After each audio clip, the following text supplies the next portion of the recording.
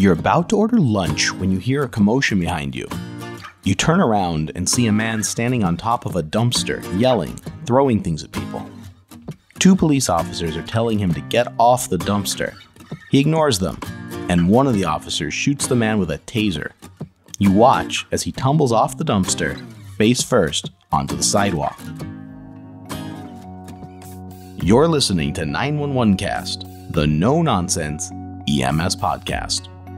This episode is brought to you by Madison Programs, a Brooklyn based medical training and consulting company with over 20 years of experience specializing in emergency medical continuing education and AHA certification classes like CPR and first aid for community members and professionals. For more information, email madisonprograms at AOL.com. I'm Scott Topiel, and this week, it's all about electrical injuries. From our phones to our cars, it seems that everything today runs on electricity. It's so ubiquitous that sometimes we don't treat it with the respect it deserves. Each day, there are countless near misses a bare wire touched by a child, a careless amateur electrician that shorts a circuit and trips the breaker. But sometimes these electrical misadventures are more serious.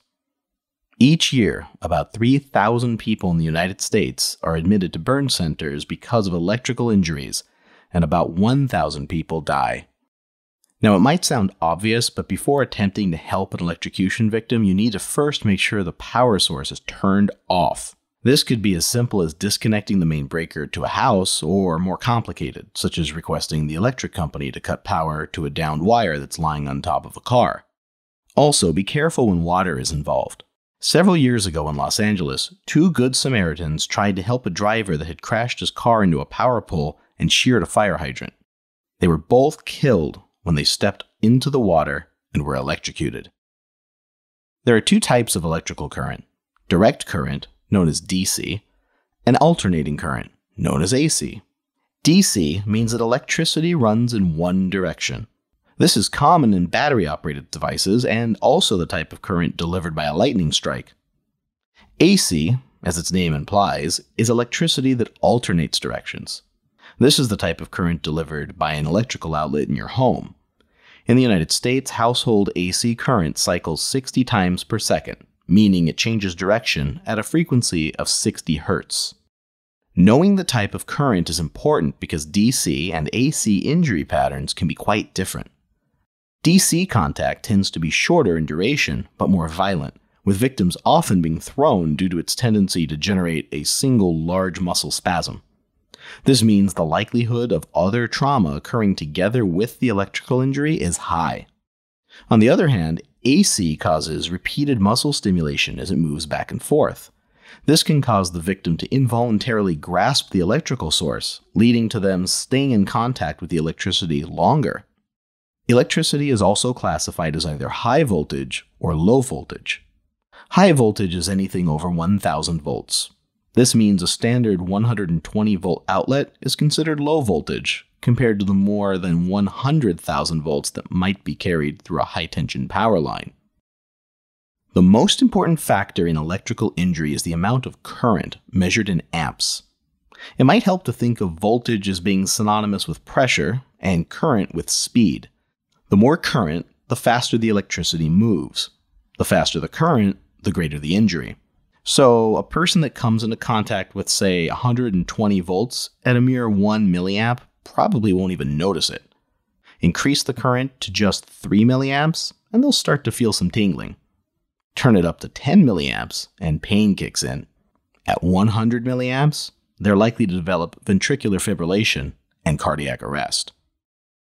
Electrical contact can cause injury three different ways through the direct effects of the electricity itself, as a result of burns caused by the heat generated as electricity moves through the body, and as a result of secondary injuries caused by muscle contractions, blasts from lightning strikes, or simply by falling.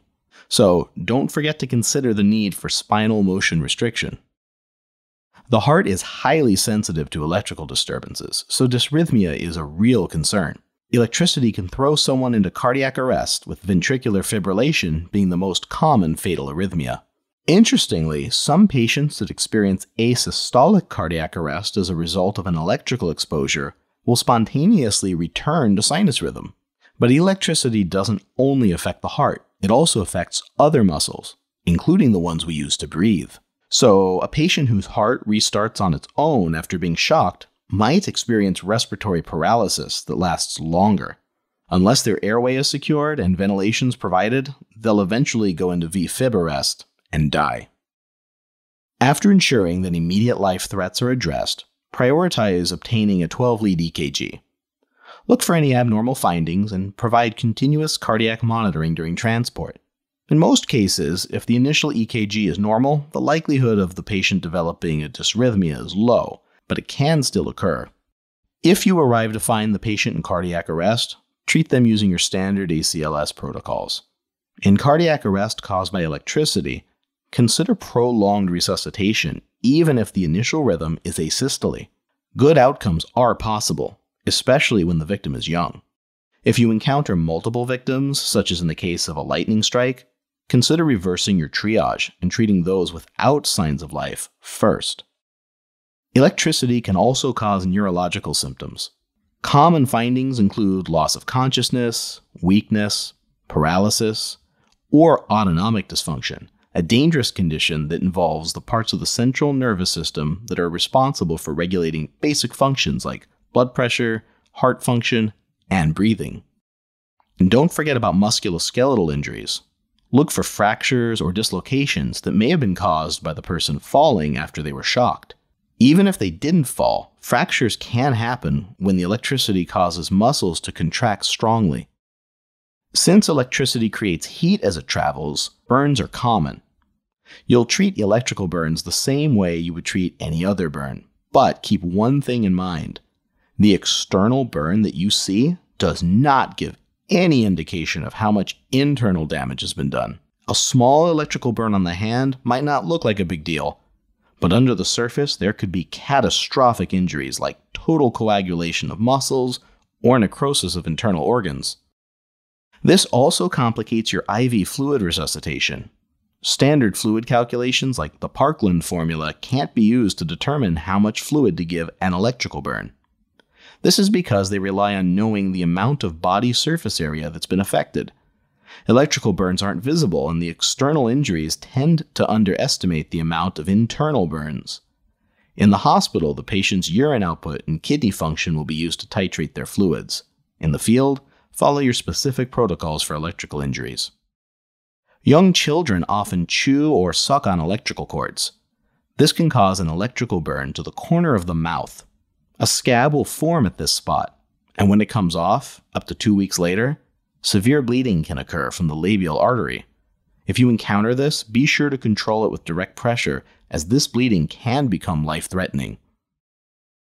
Then there are conducted electrical weapons like stun guns and tasers. These are used commonly by law enforcement and the general public. A typical weapon of this type might deliver as much as 50,000 volts of DC current at about 2 milliamps in short pulses lasting about 100 milliseconds each. The brief duration of these pulses, along with their very low current, spares the recipient of the dangerous effects of high voltage electricity while providing a near total loss of voluntary muscle control. Most sources report that the risk of cardiac arrhythmia or death from these types of weapons is minuscule. So, if a patient is asymptomatic after being stunned or tased, and they have a normal 12 lead EKG, there's very little risk of electrical injury. So, why then do you read stories about people dying after getting tased? Simple. They usually sustain some other injury. While the electricity delivered by the weapon might not be dangerous, the fall sure can be. That brings us back to your interrupted lunch break. After the officers secure the scene, they ask you to evaluate their suspect. While you're not all that concerned about an electrical injury, you are worried about other problems the most obvious being head trauma from his face first fall from the dumpster. Your patient's awake, but seems altered and smells of alcohol. Your partner maintains spinal motion restriction, and you place a C collar on him. You also provide high flow oxygen for the isolated head trauma. A 12 lead EKG doesn't show anything unusual, and his blood sugar is normal. You tell the officers that their suspect needs to be transported to the hospital to check for head and spinal injuries. Two taser barbs are still embedded in the patient's skin, but your local protocols don't allow you to remove them. While most electrical exposures are minor, some can be fatal. Always ensure that the electrical source has been shut off before approaching an electrical victim and address immediate life threats such as cardiac or respiratory arrest. Consider prolonged resuscitation, even in the case of asystole, and remember to check for other trauma. That's it for this episode of 911 Cast. We'd like to thank our founding sponsor, OneKit, makers of high quality first aid kits. Check out their products at buyonekit.com. That's B U Y O N E kit.com. Until next time, thanks for listening.